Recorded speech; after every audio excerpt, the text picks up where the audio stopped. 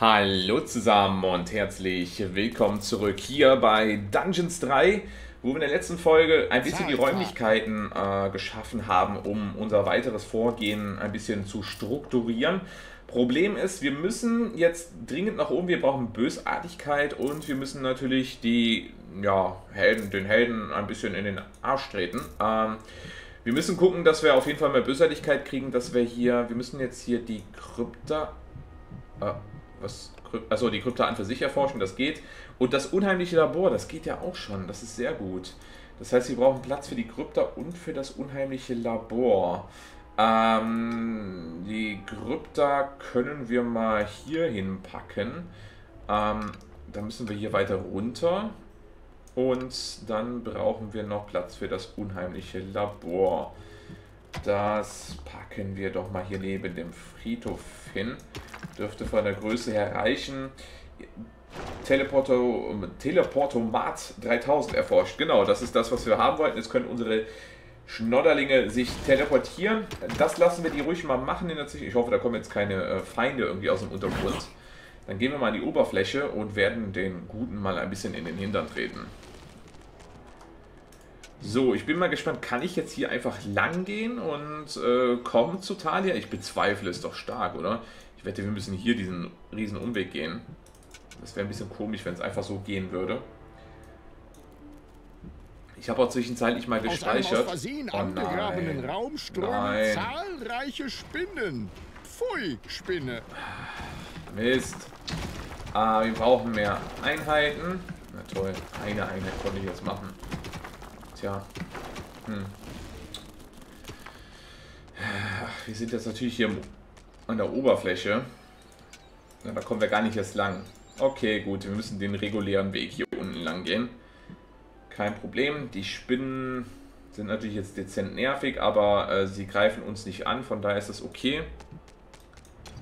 Dann geben wir uns mal lieber mehr Bösartigkeit im Laufe der Zeit. Wo geht's denn hier? Ist eine Sackgasse oder? Nee, doch nicht. Doch keine, sah erst so aus.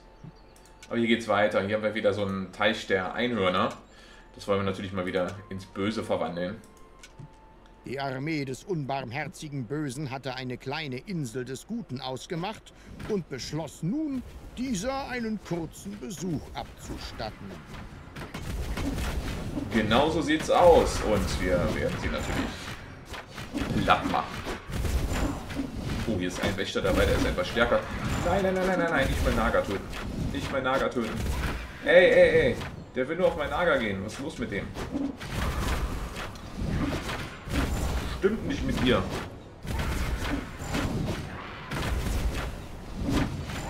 Puh, das war knapp.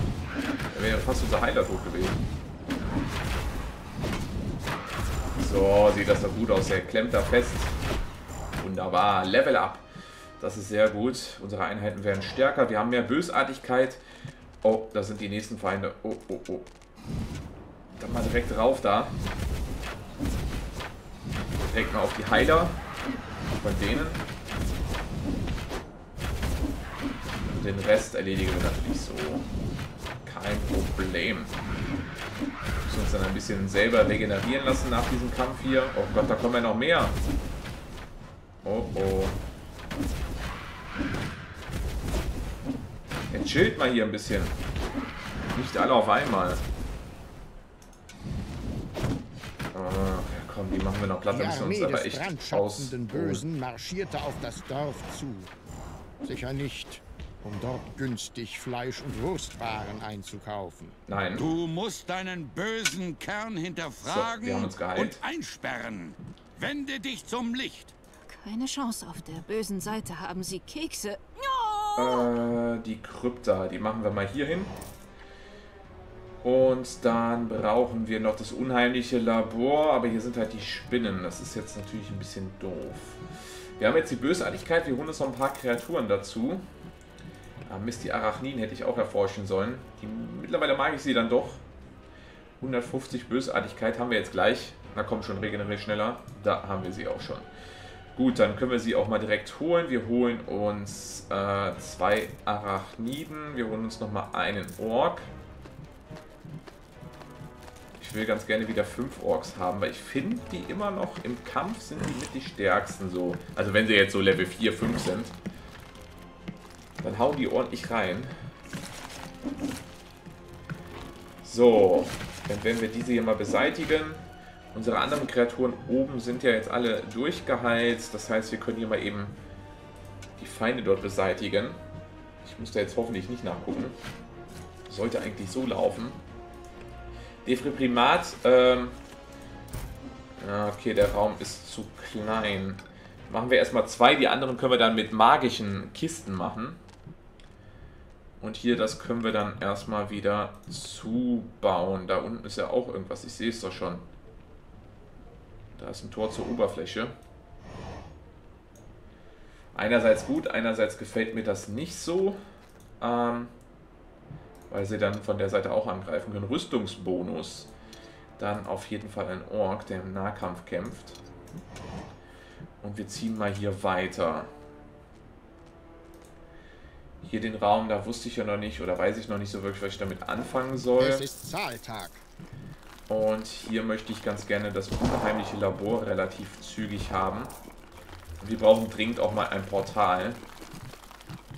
Das erforschen wir mal. Einfache Zauberei, dass wir einfach an die Oberfläche kommen. So. Dann erobern wir mal eben das Dorf hier.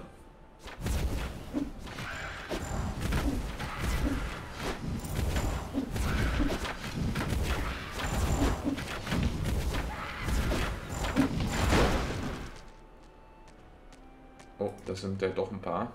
Verstärken wir unsere Einheiten mal.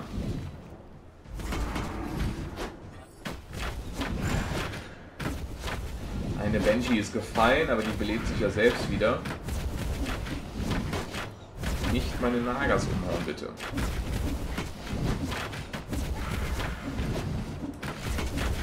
Ah, ich muss mal ein bisschen in Sicherheit bringen hier.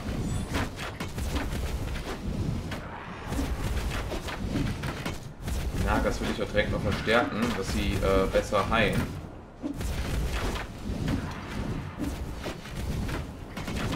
Ja, komm, das kriegen wir hin. Das sieht gut aus. Das Röcheln von Talia verhieß nichts Gutes. Es war unabsehbar, wie lange sie noch aushalten würde. Aber sicher nicht zu lange. Oh, das ist ja noch Zeit. Halbzeit, ja. Was haben wir hier? Diese Kreatur heilt sich über die Zeit. Wäre natürlich ganz gut, machen wir das mal bei ihr, weil sie kann so nicht geheilt werden, das die Banshee. erbarmungslose Böse hatte den Dorfbewohnern kurzerhand erklärt, Genug jetzt! Es wird Zeit, dass ich meine persönliche Wache aussende, Oh, oh. damit sie sich um diesen bösen Dreck im Untergrund kümmert. Los, Männer, verzagt nicht und zerstört den Dungeon. Oh, oh, oh. So, hier können wir ja jetzt Kisten machen, also magische Kisten können wir da erstellen und mit magischen Kisten können wir den verbesserte, die verbesserte Variante nehmen. Äh, ich möchte ja ganz gerne drei Stück nachher da stehen haben. Damit das schneller geht. Der Raum ist dann von der Größe her okay. Obwohl wir nur 18 lagern können, dann wäre es vielleicht dann doch sinnvoller, den noch ein bisschen... Warte mal, wir machen den... Wie groß sind es? Drei Felder. Machen wir den so groß. Und dann können wir nämlich auch genug für die Kisten lagern. Dann sieht er nicht so überfüllt aus. Dann machen wir das am Ende des Raums. Die wollen meine Bösartigkeit stehlen. Ja gut. Versucht es doch. Ähm, das ist natürlich ein Elite-Trupp. Das wird jetzt nicht so spaßig werden. Ähm, wir bräuchten auch mal stärkere Kreaturen. Holen wir die Vampire noch mal dazu.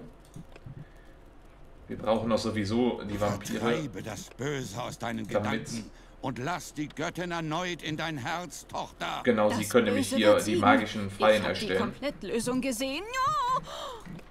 So, wir vergrößern den Raum. Dann setzen wir das dritte normale Dingens hin. Später werden wir natürlich dann nur die magischen Geräte haben.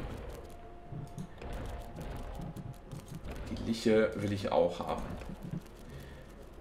Ach, Talia. Ich brauche noch zwei Warum weitere Kreaturen dazu. So weit kommen? Ich erinnere mich daran, wie ich Hm, dich zu gefunden habe, als wäre es gestern gewesen. Wir hatten gerade das Dorf deiner Sippe angegriffen Oh. und alle im Namen des Lichts niedergemetzelt. Da hört Grimli ein Wimmern. Er wollte dich gleich erschlagen, aber ich sagte zu ihm, nein, dieses Kind kann gerettet werden. Und so nahm ich dich aus den kalten, toten Händen deiner Mutter an mich und habe dich fortan großgezogen. Das waren noch Zeiten. Versuchst es jetzt mit rührenden Geschichten. Oh, was? Wir haben keine Hühner mehr. Oh Gott, wir müssen die Guru Guru Farm. Äh, ja, die ist ja immer noch nicht effektiv genug, weil hier immer noch die blöde Goldquelle ist, die noch 2500 Gold hat. Das geht dann eigentlich. Ähm, dann machen wir das hier größer und machen das dann. Nein, stopp, stopp, stopp. Stopp, nein, nein. Dann machen wir das hier noch größer. Dann machen die Guru Guru Farm so groß, das reicht dann auf jeden Fall. Und wir werden sie jetzt nochmal ein bisschen verbessern, äh, dass da mehr gelagert werden können. 350, damit es schneller geht. Das heißt, wir brauchen noch mehr Bösartigkeit. Ich würde sagen, Das wir holen, wir holen mal alle dazu. in der Oberwelt einen Dungeon-Eingang entdeckt.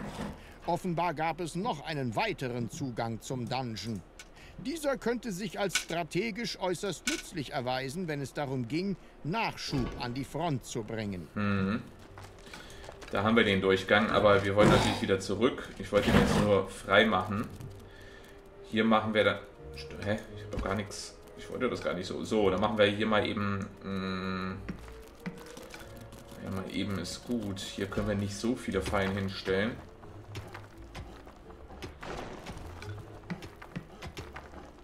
Tja, platzmäßig geht da nicht so viel, aber da kriegen wir noch was hin. 350, jetzt können wir das nämlich auch erforschen, dass die Gurus noch schneller vorankommen hier. Dass sie schneller erwachsen werden.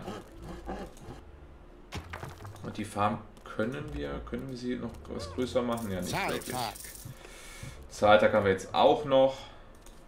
Na wunderbar. Wir brauchen noch einmal Bösartigkeit und dann können wir erstmal im Untergrund bleiben.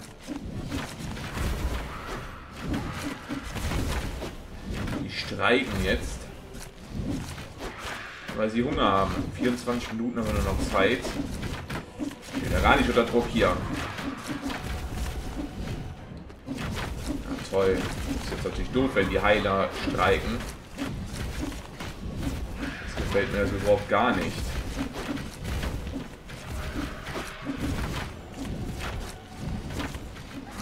Hört auf zu streiken.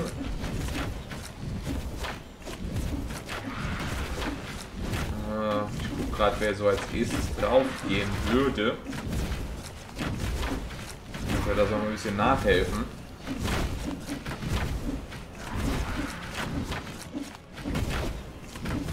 Sieht aber noch gut aus. Ja, ich glaube, es, es wird keiner draufgehen. Sehr gut. Jetzt hört auf zu streiken, ihr bösen, bösen, bösen Nagers hier. Der Platz hier wird auch ein bisschen eng. Das heißt, wir sollten auch mal hier die Kammer dann äh, um zwei nochmal so vergrößern.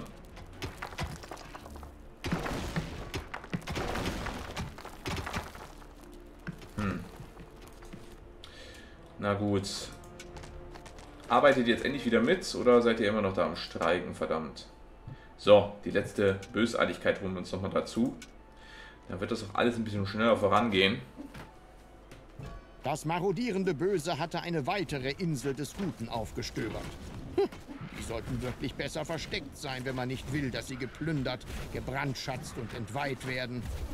Naja, so sind sie halt, diese Gutmenschen.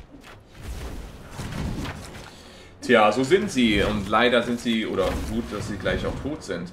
So, jetzt müssen wir uns aber echt mal hier ein bisschen um unsere Einheiten kümmern. Die sind ja alle hier am Streiken. Lassen wir die mal runtergehen. So. Dann erholt euch mal ein bisschen. Hier ist die langanhaltende Goldquelle weg. Das gefällt mir sehr. Das bleibt unsere Schatzkammer. Die bleibt bestehen. 7000 oder 8000 können wir jetzt lagern. Das könnten wir ja auch mal vergrößern.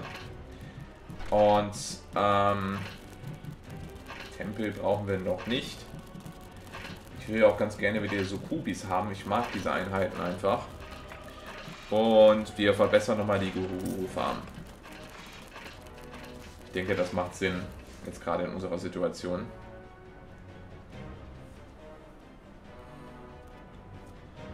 So.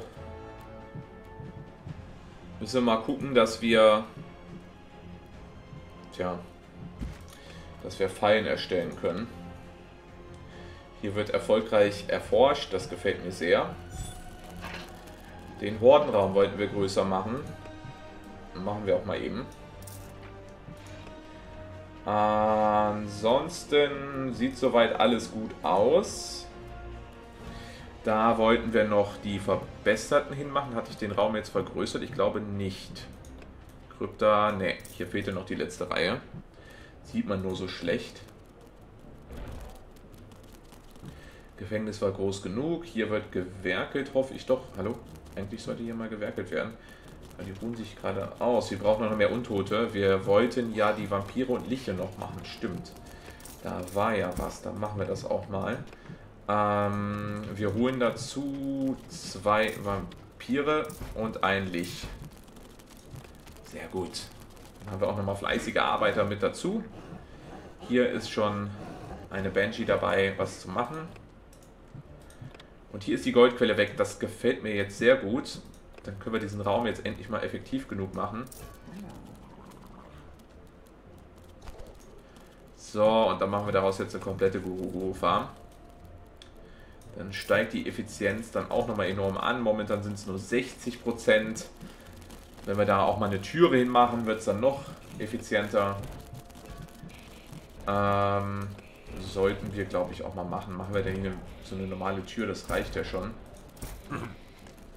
Für die ganz normalen Räume können wir hier normale Türen hinmachen. Da müssen wir jetzt keine magischen Türen hinmachen. Die Goldquelle muss noch dringend weg. Hm. Hier und da machen wir dann auch nochmal die Räumlichkeiten hin.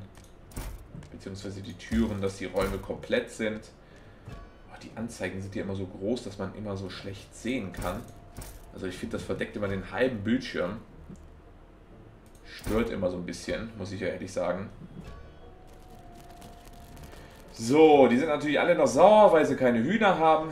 Aber das sollte sich gleich legen, das Problem. Weil wir da mächtig am Erforschen waren und diesen Raum jetzt natürlich ausgebessert haben.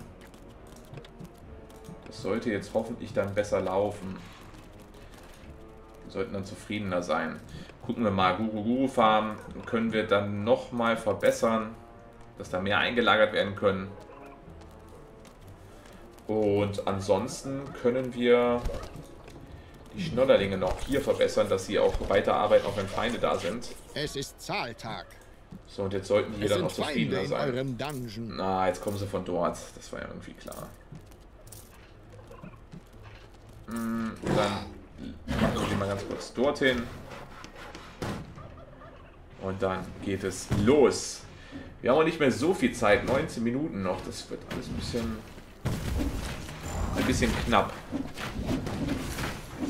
Verzage nicht und weiche ab vom Bösen, mein Kind. Die Göttin wird dir vergeben. Die Göttin kann mich mal. Ich bleibe lieber beim Bösen. Oh. Gut, können wir jetzt hier endlich die besseren machen. Ah, achso, wir haben nicht genug Gold. Oh. Hier ist aber nur noch 5000. Das ist jetzt auch nicht so das Wahre. Dann werden wir den Gang mal länger laufen lassen. In diese Richtung.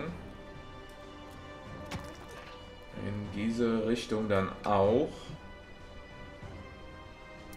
Hallo, der linke. So, hier. Tja, da läuft es ja sowieso schon hier weiter. Können wir aber einfach mal da lang nochmal und dann können wir ja nach und nach so ein bisschen buddeln. Hauptsache wir finden vielleicht Nochmal eine Langeinheit, eine Goldquelle oder so. Das interessiert mich jetzt gerade nur mehr. Weil uns ja doch ein bisschen das Gold ausgeht. Massenguru-Guru-Haltung 3 erforscht. Ja, das ist sehr gut. Das wollen wir haben. Hier haben wir ja, was freigeschaufelt, aber hier ist ja nichts. Eigentlich irgendwie komisch. Hm. Das sieht mir irgendwie nicht so danach aus, wie das, was ich äh, mir erhofft habe. Dann lassen wir sie hier mal buddeln. Und hauen dann hier eine normale Türe einfach nur hin. Sollte eigentlich nichts Wildes kommen.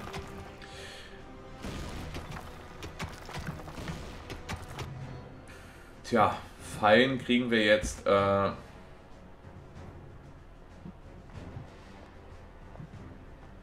gut rein. Das Gold hat ja jetzt nur gefehlt.